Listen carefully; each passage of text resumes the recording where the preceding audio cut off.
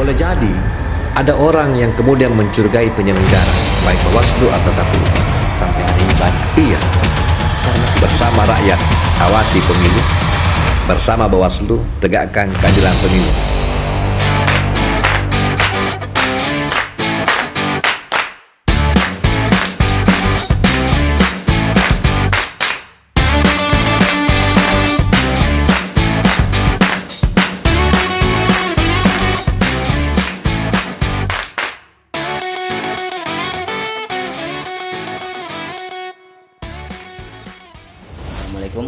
Warahmatullahi wabarakatuh.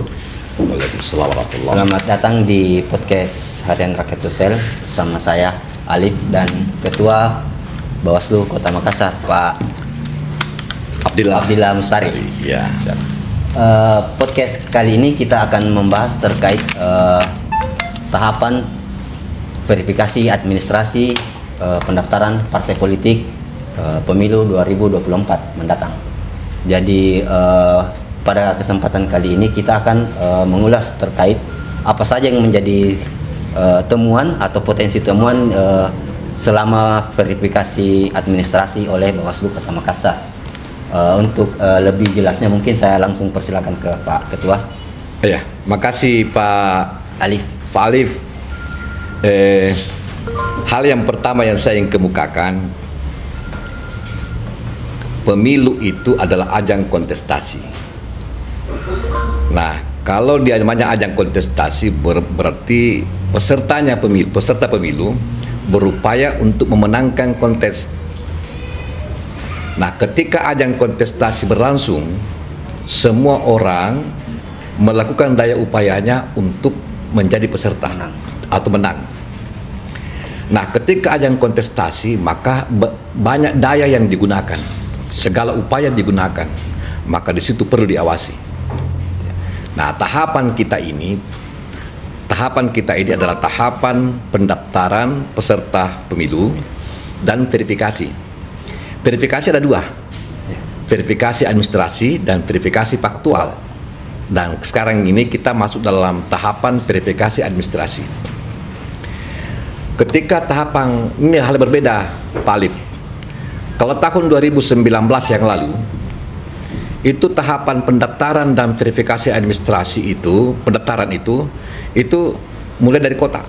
Ya. Sekarang tidak. Sekarang berpusatnya di KPU RI. Nah, pertanyaannya apa yang dikerja KPU kota?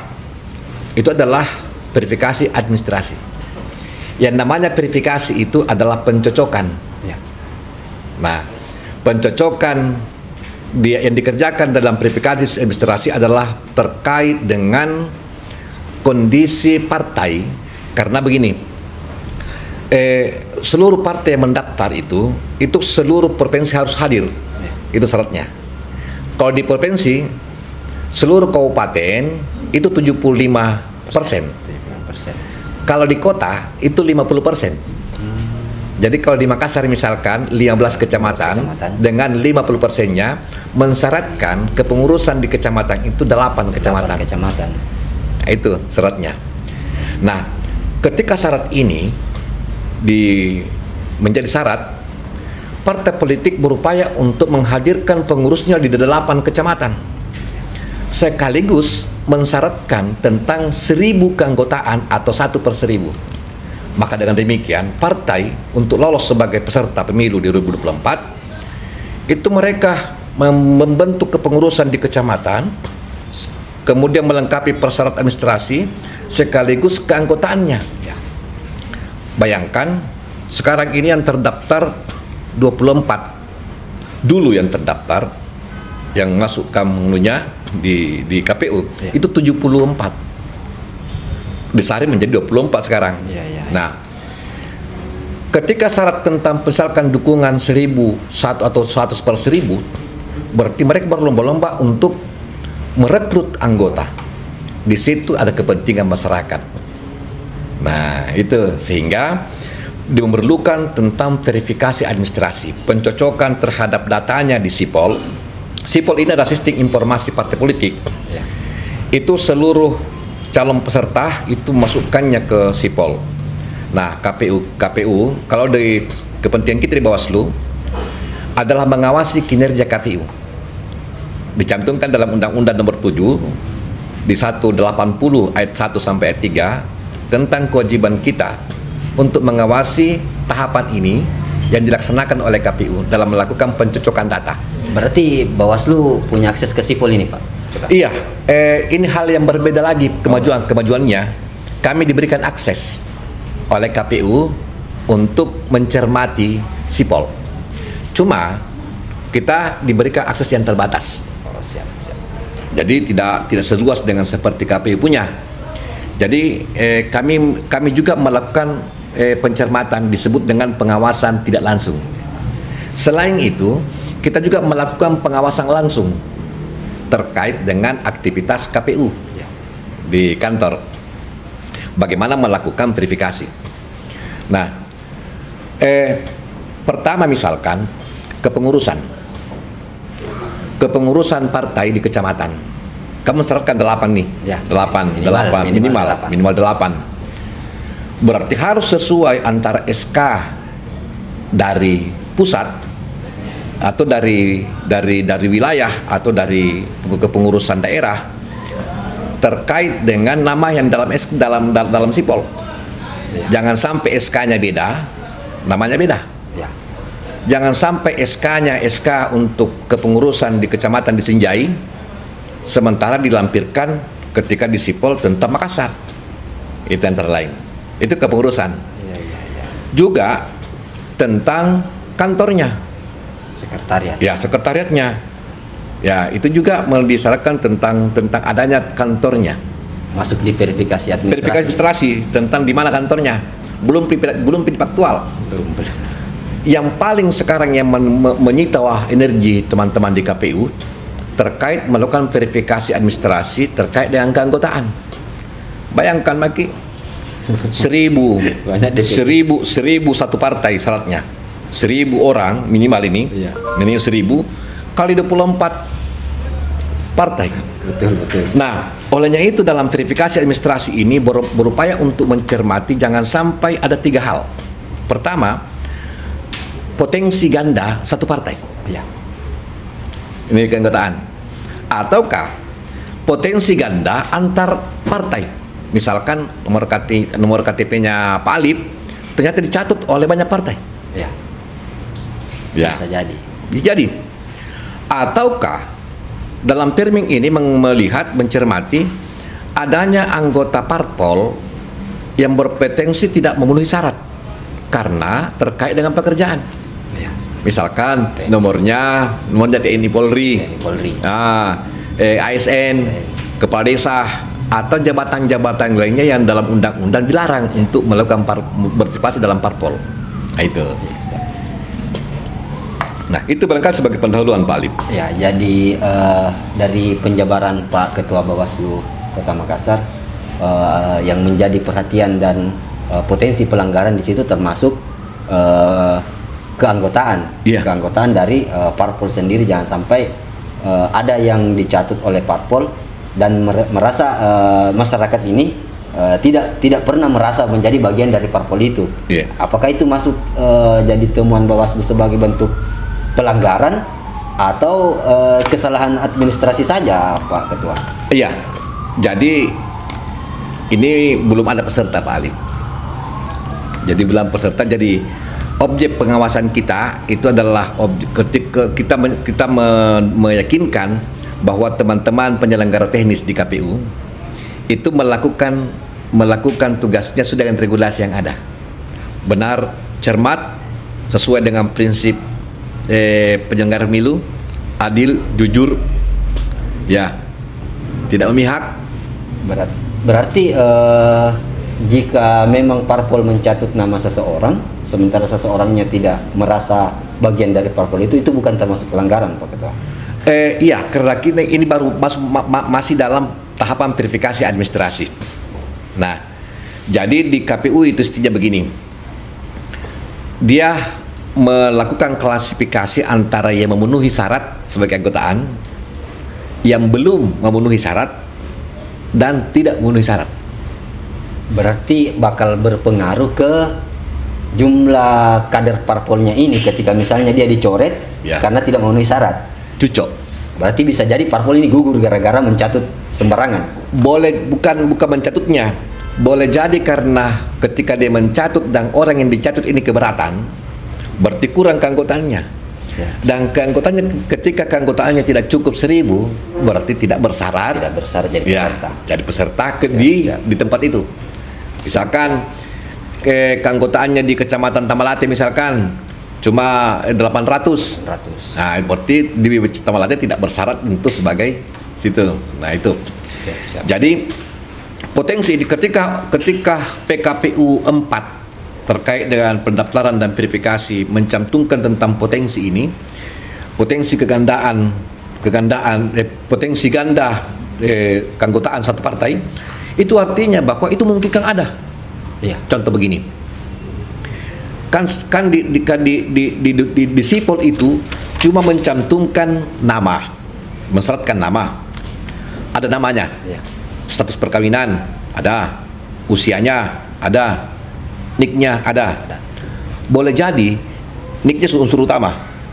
Boleh jadi ada nicknya yang ganda, nama yang berbeda. Iya. Bisa jadi. Makanya saya katakan Pak Ija- Pak Pak salah Pak Alif. Pak Alif yang namanya kontestasi orang berupaya untuk melakukan hal supaya memenuhi syarat atau menjadi pemenang. Boleh jadi satu nomor satu nomor KTP didesain untuk menjadi dua supaya ada dua kartu dua dua dua Dua data. dua data. Nah, itu. Itu kita yakinkan teman-teman di KPU itu cermat untuk melihat itu. Tapi syukurnya ini sipol sebagai alat alat bantu untuk melakukan verifikasi itu sudah mendeteksi. Ah ini nih nomor KTP ternyata ter- terulang di satu partai dua kali. Namanya berbeda. Iya. Sementara dalam dalam dalam sipol itu tidak mensyaratkan foto. Artinya boleh jadi namanya sama, nomor KTP sama, fotonya berbeda. Beda. Iya. Bisa Gitu. jadi ada nama yang sama, tapi memang orang yang berbeda. Iya, Bisa jadi juga. bisa jadi. Ya, Nah, eh, jika memang eh, verifikasi eh, apa proses verifikasinya yang menurut saya yang ya agak cukup rumit juga ini Pak Iya. Ketua karena di Makassar saja mengingat 15 kecamatan nah sementara kalau misalnya satu parpol minimal 8 kecamatan yang harus eh, disiapkan Iya. untuk diverifikasi Bawaslu Kota Makassar sendiri caranya untuk bisa mengantisipasi semua itu Pak Ketua teknisnya bagaimana? Eh, yang pertama kita melakukan selalu selalu intens melakukan koordinasi dengan teman di KPU. Dan syukurnya alhamdulillah teman di KPU eh, sangat welcome terhadap kehadiran Bawaslu dalam setiap tahapan. Jadi teman-teman di KPU itu sangat mengakomodir ketika kami datang untuk melakukan pengawasan karena tugas kami kan mengawasi. Nah, itu cara kami yang pertama. Yang kedua, kami berupaya untuk melakukan pencegahan. Kan di Bawaslu itu tugas utamanya adalah pengawasan. Pengawasan bentuknya dua, pencegahan dan penindakan. Nah, sebelum kita menindak, kita mencegah dulu. Pencegahan kita ini kita masifkan. Misalkan kita berupaya ke, menghimbau kepada Pak Wali Kota, Alhamdulillah direspon oleh Pak Wali kemarin keluar eh, edarannya untuk melakukan pengecekan mandiri. Jadi masyarakat atau TNI eh, eh, eh, P- kalau di wali kota eh, para apa para aparatur sipil negara, para ASN, ASN. untuk melakukan pengecekan mandiri terkait nomor, nomor NIK-nya. Jangan sampai begitu dimasukkan NIK ternyata Anda nomor Anda masuk dalam catatan sipol. Iya. Berarti masukkan kortaan. Betul. Tetapi tidak menyebutkan partai mana. Ya. Ya.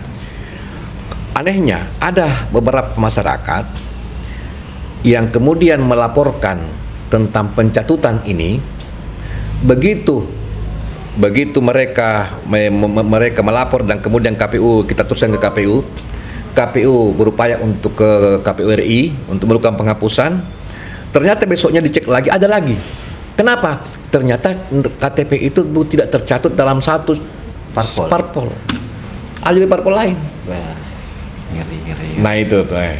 Jadi eh, itu sosialisasi kita ke kita ke eh, Kapolres, Kapolres Tabes, Kapolres Pelabuhan, ke Dandim, eh, itu juga alhamdulillah disahuti untuk melakukan pengecekan.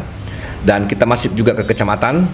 Seluruh camat kita kecamatan telah kita datangi untuk minta untuk jangan sampai ASN dicatut namanya.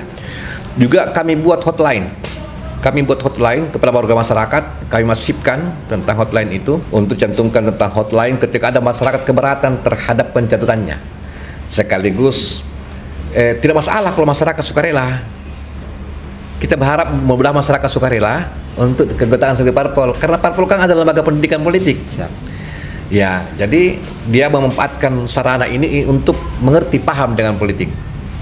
Nah itu yang kita lakukan sosialisasi. Bahkan kita berkunjung ke sekolah-sekolah eh, untuk mendekati pemilih pemula untuk kemudian mendeteksi dirinya KTP-nya, NIK-nya itu tercatat dalam daftar pemilih berkelanjutan. Nah, eh, itu hal yang kita lakukan selama ini untuk me, sebagai bagian dari proses pencegahan di Bawaslu. Uh, itu lagi Pak Ketua yang Ya. jadi uh, banyak uh, pertanyaan dari uh, beberapa masyarakat uh, yang seperti Pak Ketua tadi bahasakan. Iya. Uh, saya merasa uh, belum uh, apa bukan bagian dari kader parpol ini. Iya. Uh, yang seperti tadi Pak Ketua bahasakan ada hotline Ya. atau uh, kalau misalnya karena kan tidak semua masyarakat Pak Ketua bisa uh, mengakses uh, smartphone atau Ya, HP untuk ya. untuk melaporkan dirinya. Nah, masyarakat harus ke mana Pak Ketua? Oke, eh, ya selama ini memang teman-teman KPU itu menyiapkan help desk. Ketika terlagi-lagi pakai smartphone, kalau kalau fasilitas help desk untuk mengakses itu untuk melakukan eh, secara online. Tetapi kalau ada masyarakat yang terbatas terhadap fasilitas Iya, itu, Iya. dia bisa mengisi for- formulir pernyataan dan dibawa ke Bawaslu. Insya Allah kami akan tindak lanjuti ke KPU untuk selanjutnya dan selanjutnya kita berharap mudah-mudahan teruskan ke KPU dan kemudian ke parpol bersangkutan. Siap, siap. Iya. Berarti eh, jadi buat eh, masyarakat ataupun eh, TNI Polri yang merasa eh, namanya dicatut eh, bisa bisa melaporkan dirinya untuk eh, bisa ditindaklanjuti ke kantor Bawaslu Kota Makassar. Ini khusus untuk di Kota Makassar ya. Kalau Ya. untuk eh, kabupaten kota lain ke Bawaslu kabupaten kota Kota lain. terdekat. Siap. Ya. siap. Eh, terkait eh, ada ada ada bahasa dari masyarakat juga Pak Ketua. Iya. Eh, bisa jadi eh, eh, parpol dan KPU-nya sendiri sebagai penyelenggara ada main mata. Ya. Jadi ada main mata untuk bagaimana eh, meloloskan salah satu parpol ini sebagai peserta pemilu. Ya, potensi itu tetap ada Pak Ketua. Jadi eh, Bawaslu Makassar sendiri bagaimana eh, menyikapi ini atau mengantisipasi hal-hal yang seperti itu. Bentuk pengawasannya Bawaslu Makassar bagaimana? Oh iya. Kami meyakinkan bahwa teman-teman, jadi teman-teman di KPU ini bagian dari objek dari pengawasan kami. Teman-teman di KPU sebagai penyelenggara teknis itu ses- melakukan kerja-kerja sesuai dengan prosedur, sesuai dengan mekanisme yang diatur, dan sesuai dengan waktu yang telah ditetapkan. Jadi Bawaslu bukan cuma mengawasi eh, parpol saja ini Pak Ketua ya. Eh, kita ini kan belum, ini kan parpol ini belum menjadi peserta. Oh iya, siap, siap, siap. Dia, dia baru calon peserta pemilu. Nah, ini kan prosesnya masih panjang nih, masih panjang. Jadi proses verifikasi ini berlangsung di KPU. Nah, kita untuk untuk mencegah adanya yang seperti Pak Alif tadi katakan, Main mata. maka kita melakukan pengawasan terhadap kinerja KPU, terhadap kerja-kerja KPU. Ya, makanya kita selalu mendampingi dan alhamdulillah eh, teman KPU Kota Makassar itu me- eh, berupaya untuk berkolaborasi terhadap penyelenggaraan tahapan ini. Saya kembali ke pencatutan kemarin. Semenjak diluncurkan eh, hotline atau aplikasi eh, yang dikeluarkan oleh Bawaslu Kota Makassar terkait eh, aduan pencatutan Iya. nama ini, sudah ada berapa yang masuk sampai hari ini? Sejauh ini sudah ada dua yang kita proses, masyarakat yang keberatan.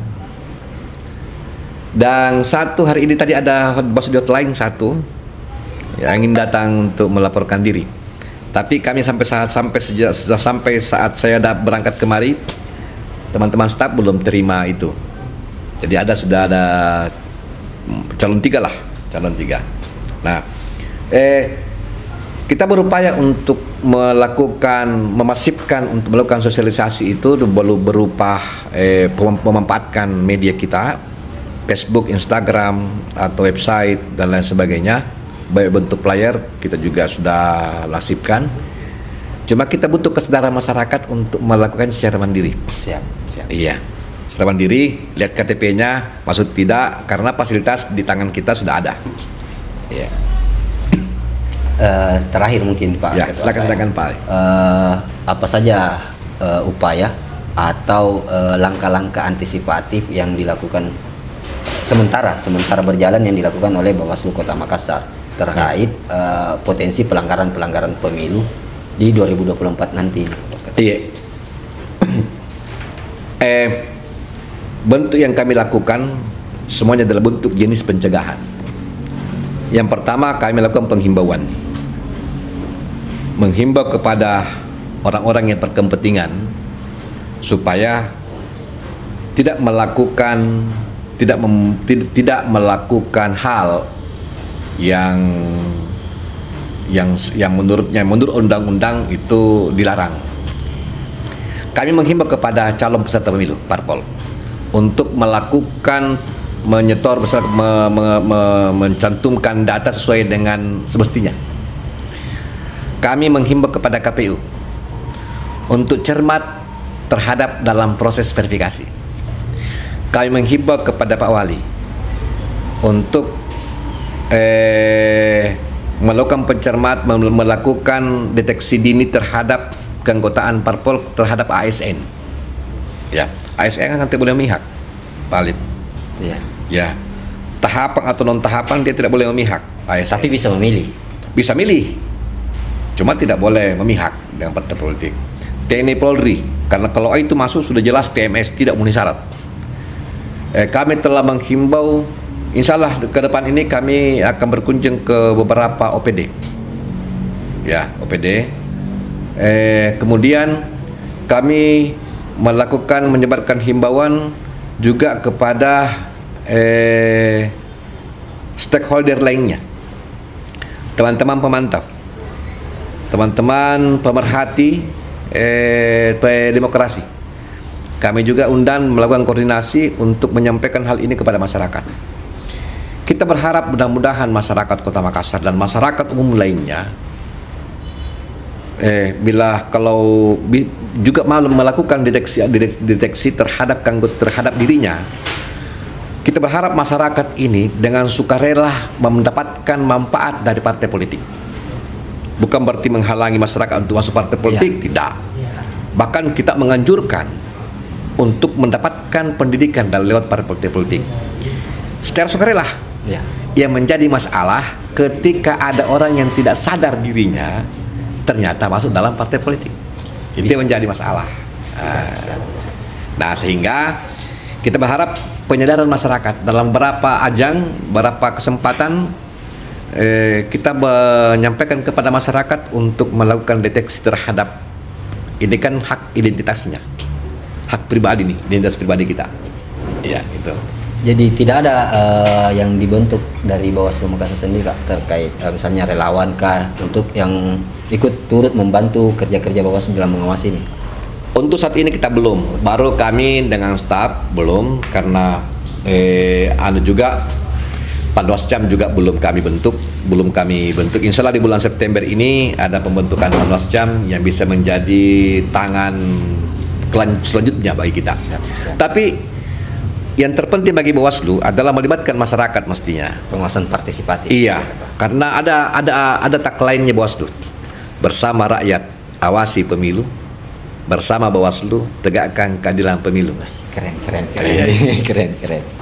Ya, uh, Mungkin ada uh, penyampaian yang ingin ditambahkan atau uh, menutup untuk uh, podcast kali ini, Pak Ketua. Himbauan kah atau saran atau bagaimana buat teman-teman uh, parpol ataupun uh, KPU Iya, eh, kami pengawas pemilu itu berupaya untuk